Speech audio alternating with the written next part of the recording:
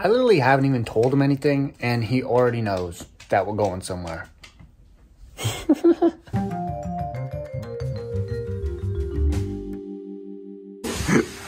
what?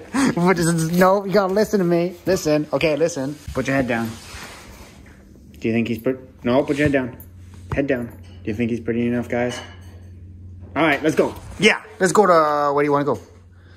What is that nose? Get your nose out of this shot, you. Let's get going.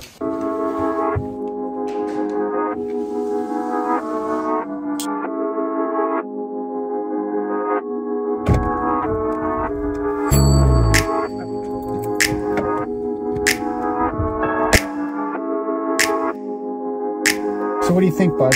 Should we go to Bruce Pit? Yeah, Bruce Pit.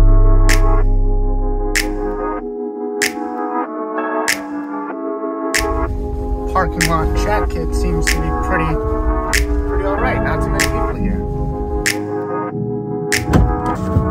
I get a lot of messages why I clip Frankie rather than put him in a crate. And I always think that, you know, if there was something bad to happen, like a car crash, I would hate have to try to pry open that crate in order to get him versus unclipping the leash from here or from the actual seatbelt buckle or just taking off his harness. There's three methods I can get him out.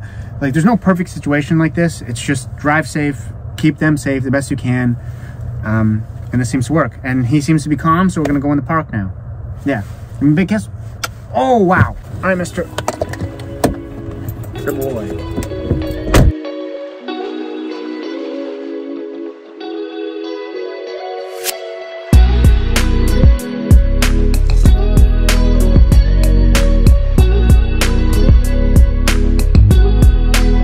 Last time I came here, I filmed about this being the most aggressive dog park in Ottawa.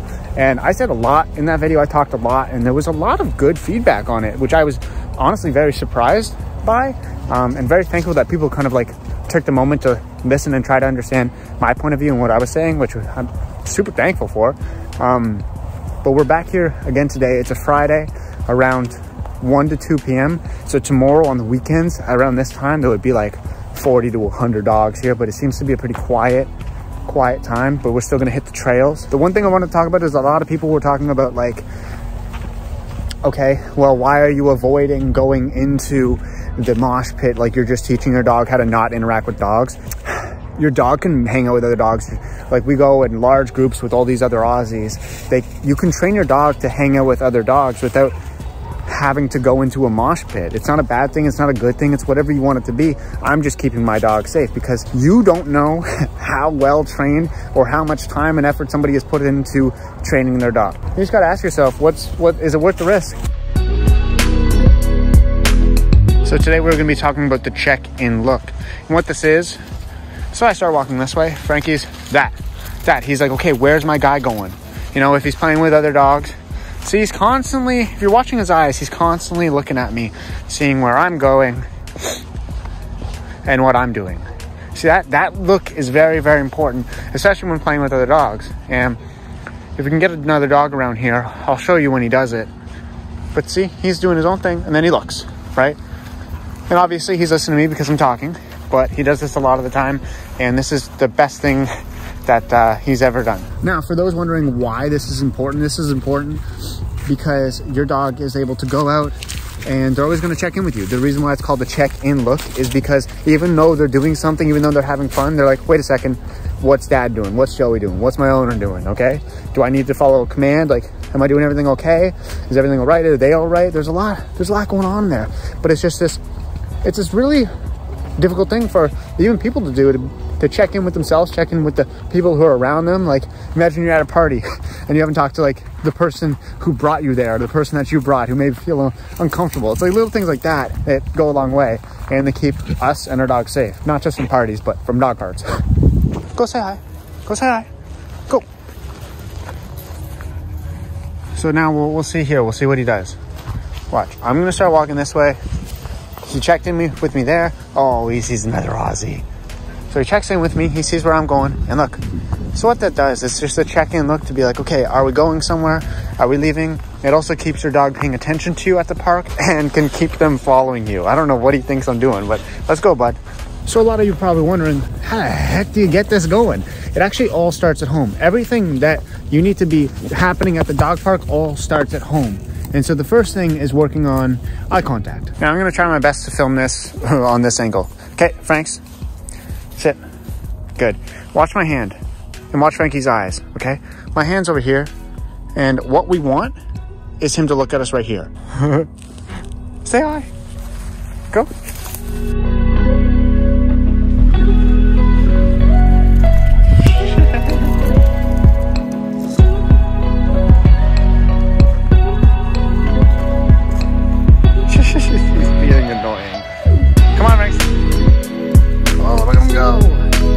Little hard to train this while at the dog park without treats, but what you can do is you can have treats in your hand at home and show the dog that you have treats and just stick your hand out. When you stick your hand out, wait for your dog to look you in the eyes. If they're constantly just looking at your hand, don't reward them. Once they look at your eyes, reward them.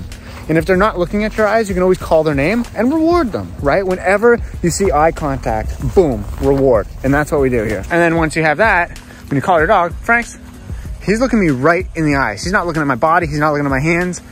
Okay, here's Frankie Pan. He's looking right in my eyes, knowing where I'm going, looking at everything, everything. We can read people by their eyes so well.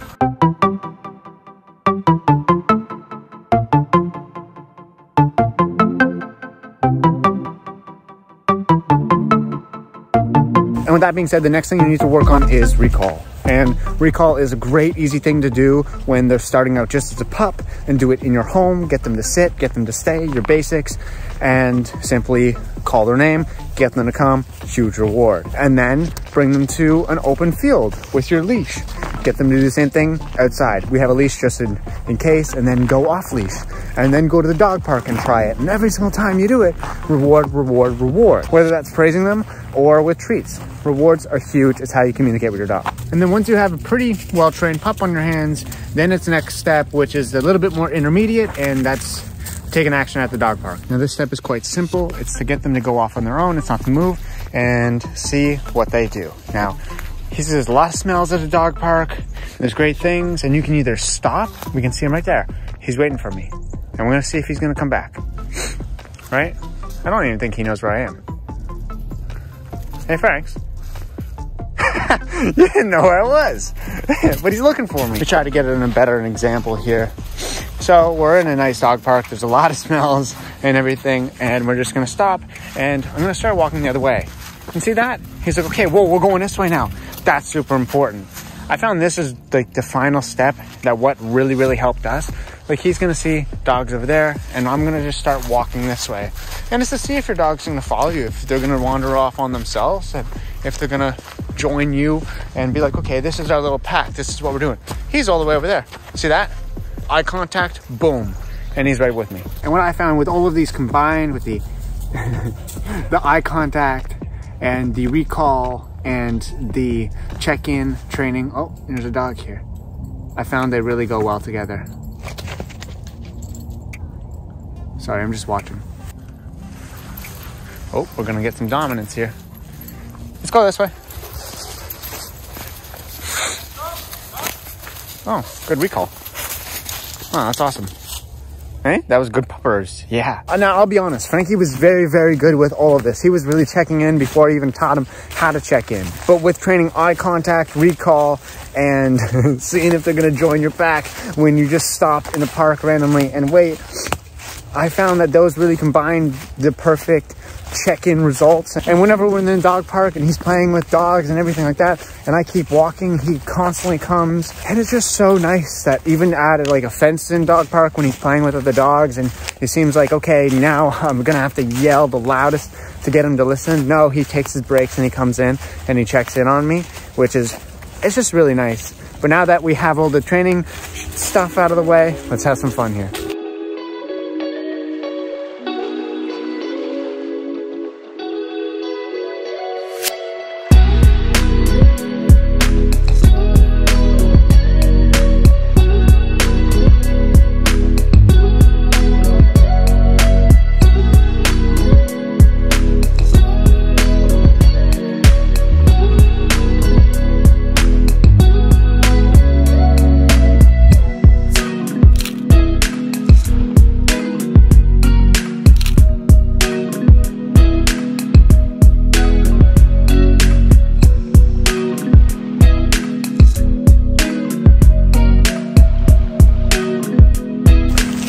You didn't know we could do that.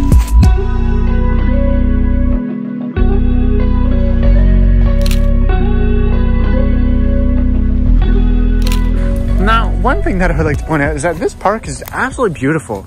Like, look at these trees. It's gorgeous here.